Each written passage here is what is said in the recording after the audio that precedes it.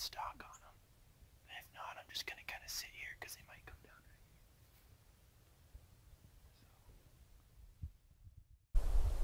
here. Yeah, he's the one that came out after they walked up over that.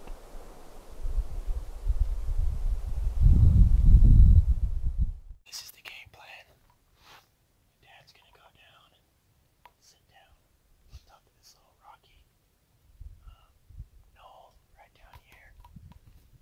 I'm gonna loop up and around and see if I can see where they're at up there. If I'm able to get a shot, I'll take it. If not, I usually come down this way, right to where my dad is going to be. So that is the plan. We're gonna see if it will work.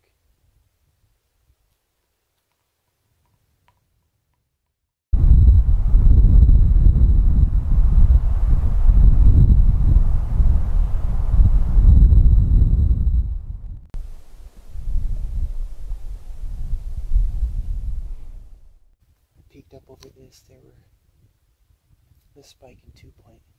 They moved down here into this meadow down here. But uh, all I could see now is the two point, the spike, and a doe. I don't know where the big buck went. It's probably still down here, or back around. It is somewhere else, but I see two more deer further into the meadow.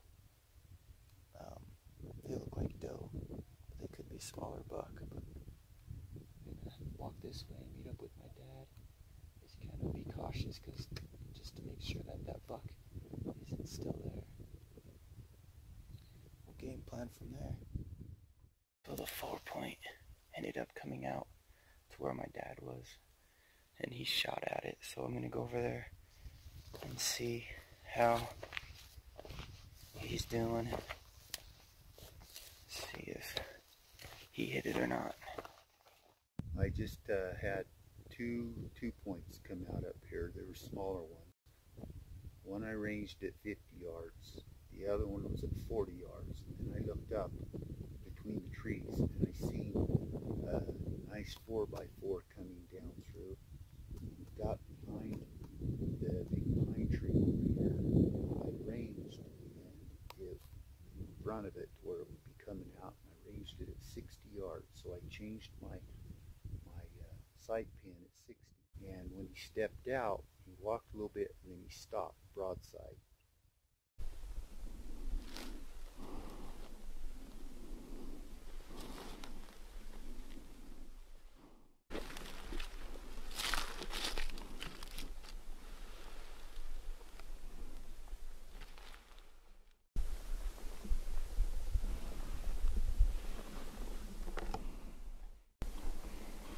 Well, it looks like I missed the shot. Found the arrow, no blood. Looks like he might have jumped the arrow. But I literally scared the crap out of it. This little guy's about 65 yards from me.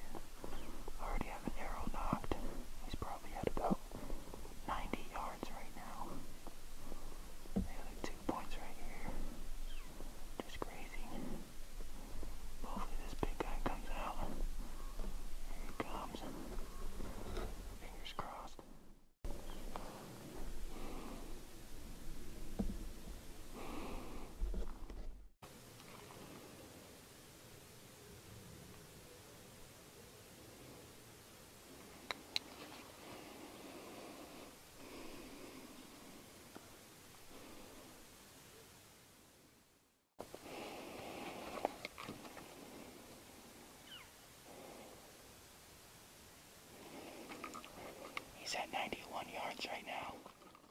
10 more yards. Come on. He's at 92 right now.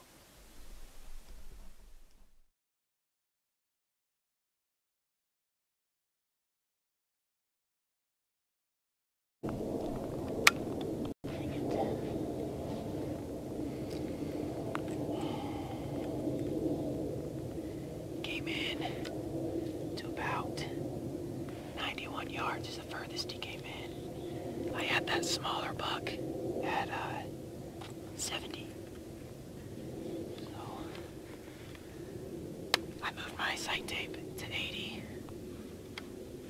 And uh, wait for him to come in.